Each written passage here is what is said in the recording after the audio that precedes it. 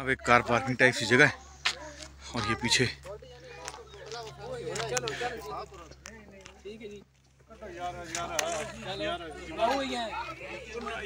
Atif?